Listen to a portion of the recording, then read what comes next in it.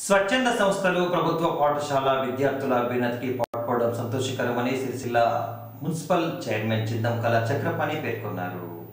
Sathya Sai Annapurna నిత్యాన్నదాన trust ఆధ్వర్యంలో శనివారం రోజున గీతానగర్ ప్రభుత్వ పాఠశాల విద్యార్థులకు రాగి జావా పంపిణీ చేసే కార్యక్రమాన్ని శనివారం రోజున వారు ప్రారంభించారు. కార్యక్రమానికి ముఖ్య అతిథిగా జిల్లా విద్యాధికారి డాక్టర్ ధనలకోట రాధాకిషన్ తదితరులు హాజరయ్యారు. సిరిసిల్ల పట్టణంలోని గీతానగర్ మండల ప్రజా పరిషత్ ప్రాథమిక పాఠశాల ఆవరణలో శ్రీ సత్యసాయిబాబా అన్నపూర్ణ ట్రస్ట్ ఆధ్వర్యంలో నిర్వహించిన రాగి అంబలి పంపిణీ కార్యక్రమానికి పురపాలక సంఘం అధ్యక్షురాలు జిందం కళాచక్రపాన్తో పాటు జిల్లా విద్యాధికారి డాక్టర్ ధనలకోట రాధాకిషన్లు ముఖ్య అతిథిగా హాజరయ్యారు.